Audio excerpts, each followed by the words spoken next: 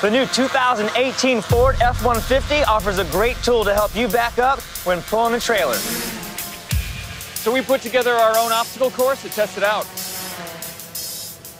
So I'm about to drive this course in reverse, with the trailer in tow, using only my brake pedal, the accelerator, and this knob. No steering wheel.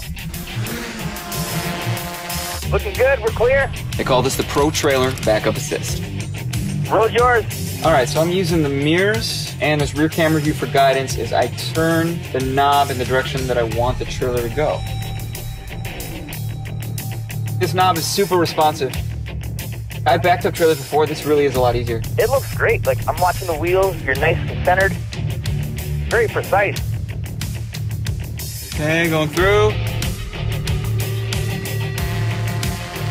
Wow. Man, that was amazing. That was pretty cool. You know, when Ford says that the F-150 doesn't just raise the bar, it is the bar. This is exactly what they're talking about. We're taking care of business.